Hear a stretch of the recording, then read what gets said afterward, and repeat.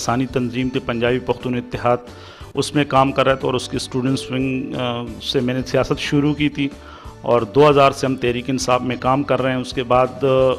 2001 में मुझे Pakistan Tehreek Insaf youth wing Karachi division का प्रेसिडेंट बनाया गया। और जब 2002 के बल्दियाती इलेक्शन हुए हैं तो उसमें मैं पाकिस्तान तहरीक इंसाफ की तरफ़ से मैंने हिस्सा लिया और मैं अपने इलाके के अमानी से यू सी टू से कौंसलर मंतखब हुए हैं। हमने तहरीक इंसाफ इसलिए ज्वाइन की कि इमरान खान में हमने देखा कि इस मुल्क के लिए कुछ करना चाहते हैं। और जैसे इनका माजी के शौकत खानम अस्पताल के उसमें या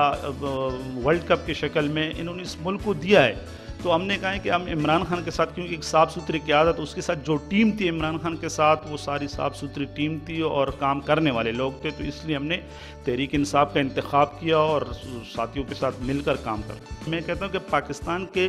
पैंसठ साल तारीख में पहली मरतबा हमने किसी पार्टी के, हम ये नहीं कहते कि हमारा ताल्लुक तहरीक इंसाफ से तो हम तहरीक इंसाफ की वो बड़ाई या उसकी अच्छाई हो करे कि भाई तहरीक इंसाफ में पहली मरतबा इस तरह इलेक्शन हो रहा है कि नीचे ग्रास रूट से लीडरशिप ऊपर आ रही है और माशाल्लाह हमने पख्तनख्वा के अंदर हमारे इलेक्शन हुए तो हमने वहाँ भी देखा क्योंकि हमारा ताल्लुक बेसिकली पख्तनख्वा से हैं और हमने ऐसे ऐसे ज़िलों में देखा, कुआट में हमारा चाचा अमायूँ आया पेशावर के अंदर मेरे अपना ताल्लुक सवाबी से है और सवाबी में ऐसे ऐसे लोग मंतखब हुए, मेरे इलाके का एक यंग लड़का है, मेरा रिश्तेदार है उसका सियासी से कोई ताल्लुक ही नहीं था। एक टीचर है, वो तासीर का जर्नल सेक्रेटरी मंतखब हो गया है। तो ये एक बड़ी चेंज है, एक तब्दीली है तो इन इस मरतबा ये ये एक तब्दीली की आवाज़ चल पड़ी आज हर नौजवान।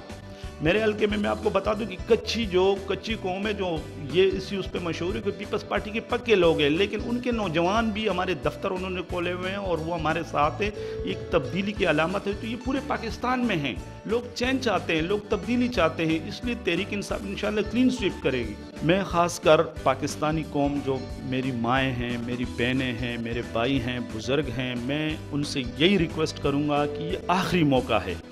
आपके लिए बेहतरीन मौका है कि अगर आपने अपने आप को अपनी बदलना है तो पाकिस्तान तहरीक इंसाफ के